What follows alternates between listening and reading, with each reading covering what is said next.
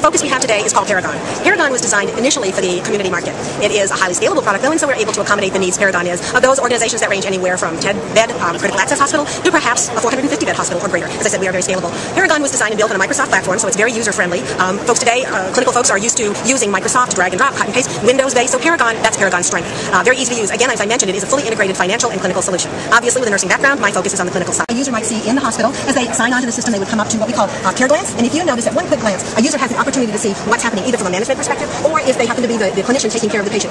And if I were, say, the manager on this floor, I could quickly discern that I have several patients here who need an admission assessment under the AA column. Those assessments haven't even been started because I see a red light. Moving along across the screen, we see an NR or new results column. Again, from a clinical perspective, if I were the nurse taking care of this patient, I know immediately at one quick glance that I have patients who have either a critical or an abnormal result. And as I click on what we call patient um, profile, that in fact is my patient information or patient history that's brought forward from previous admissions, allowing me to just review this.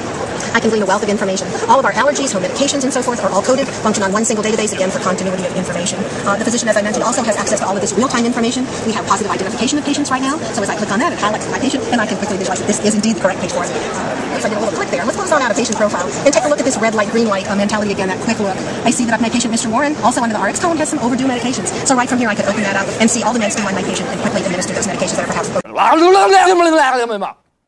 哒哩噜啦，哒哩噜啦，哎呀妈，哒哩噜啦，三百八十八，哒哩哆哇，哒哩噜啦，哎呀妈，哎呀，嘟嘟咔咔，嘟嘟，三百八十八，哈皮皮，哎呀，哎呀，哈哈哈哈。